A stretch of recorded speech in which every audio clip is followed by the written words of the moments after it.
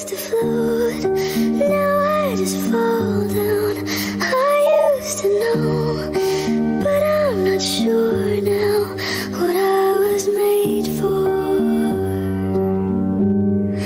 What was I made for?